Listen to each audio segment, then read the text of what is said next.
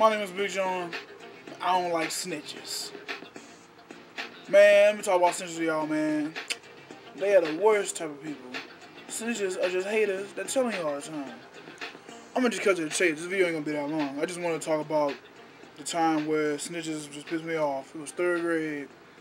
I had a sub, and he was getting on my nerves. You know, third grade, you don't feel like dealing with nobody. Just want to draw. Eat snacks all day. But gotta go to school. So, I'm in class, whatever. You know me. I got an argument with the teacher.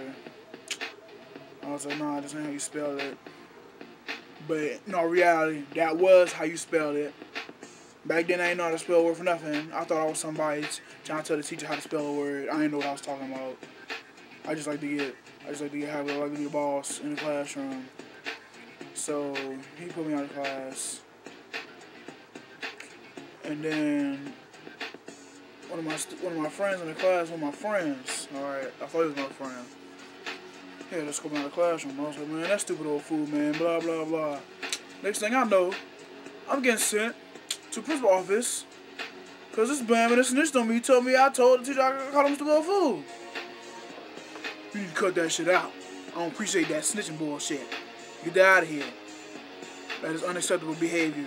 Come on, you used to be my friend. How you gonna snitch on me? I thought he was cool. I gave you my chocolate milk. You remember that? Gave you my chocolate milk. I don't understand you snitch on me. I don't, I don't get that. I don't snitch on nobody unless they need to be snitched on, you know. If it comes with family, you know, somebody doing something that's detrimental to their health, you gotta tell somebody about it.